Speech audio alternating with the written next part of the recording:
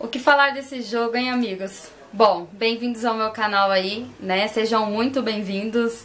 É, se inscrevam, deixa o likezinho aí, que é muito importante. Ative o sininho se não está ativo ainda.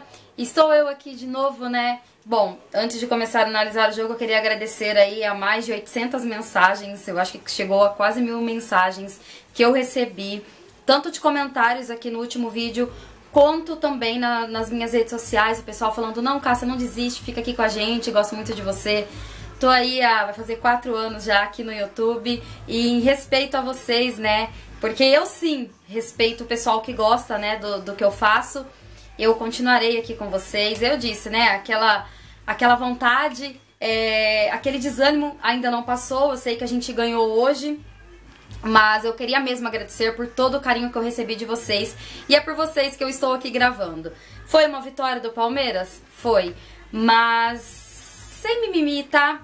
Eu vou ser bem sincera mesmo, reta, direta e reta para vocês. Eu queria ter comemorado contra o Inter, eu queria ter comemorado contra o Santos, eu queria ter comemorado jogos que a gente ainda tinha possibilidade de brigar pelo título.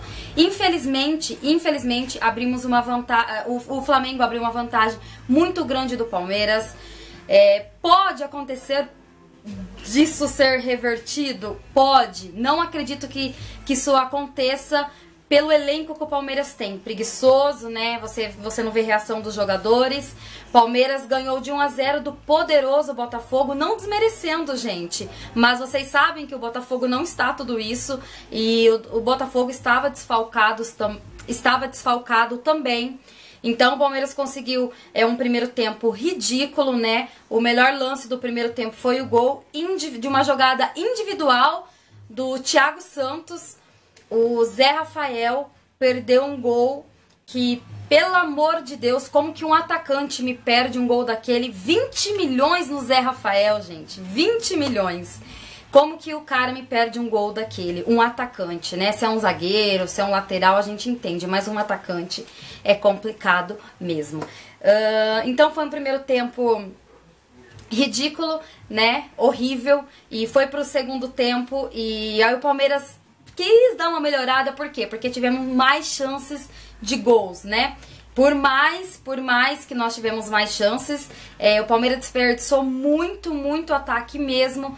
É, então acabou sendo um, um segundo tempo também ruim. Eu digo pelo adversário que a gente pegou. O meu medo, né? A gente pegar o adversário melhor e o Palmeiras cagar, igual fez outras vezes, logo aí, logo, daqui a pouco, né, nós já vamos pegar o Corinthians, então, jogando dessa forma que o Palmeiras está jogando, eu acho muito, muito difícil o Palmeiras ganhar um clássico.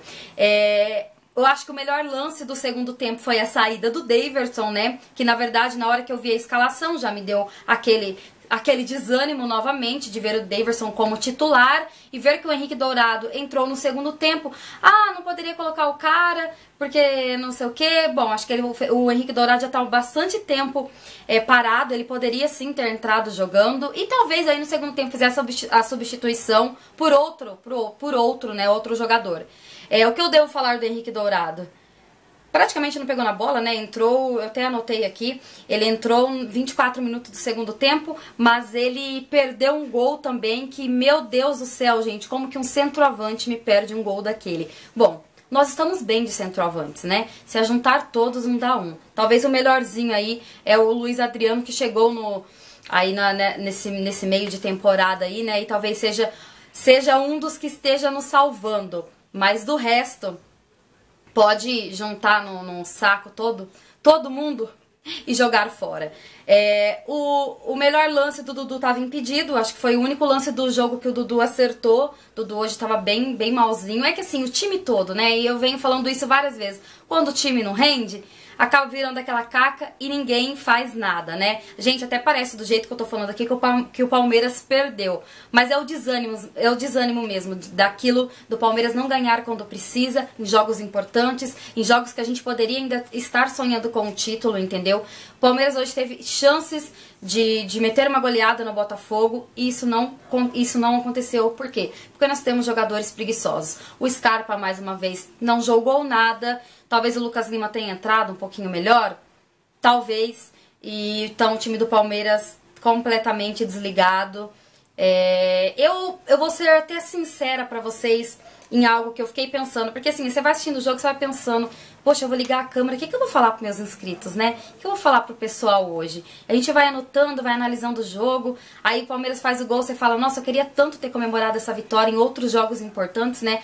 Mas, por fim, o que eu ia falar é que eu fiquei pensando, coitado, né? Coitado do Felipão, nunca pensei que eu ia falar isso aqui no canal, mas você vê que a culpa não é do técnico. E não, a culpa não é do Menezes. Pode ser que às vezes ele faça uma substituição errada, talvez não entre com aquele jogador que a gente quer que entre, mas você vê que ele pede pro jogador fazer uma coisa o jogador não faz. Então você imagina, né? Olha, quem diria eu aqui falando, né? Falando bem do Menezes, mas que é, ele, ele ali, né, no banco de reserva, olha pra um, fala, ah, vou colocar esse jogador.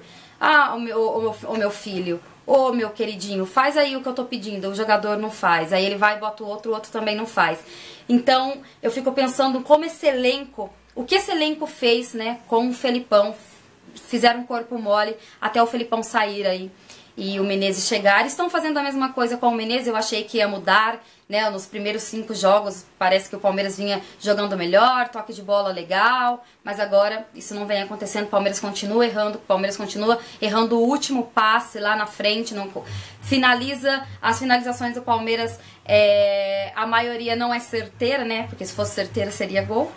Mas enfim, então eu fico pensando nessa parte, que o Palmeiras queimou um técnico e está querendo fazer a mesma coisa com o outro. Então, o problema do Palmeiras vai muito além de técnico. Eu acho que era isso, né? Não tem muito o que analisar desse jogo. E se você tá feliz com a vitória do Palmeiras, deixa o comentário de vocês aqui embaixo que é muito, muito importante. Deixa o like, gente, é muito importante mesmo pro vídeo chegar para mais palmeirenses. E é isso, gente. É, a gente se vê aí numa próxima. Tô aqui no, no, no canal pro que der e vier, porque vocês aqui são a minha família, tá bom? Então, espero que vocês tenham gostado de mais um vídeo. Até a próxima e avante palestra!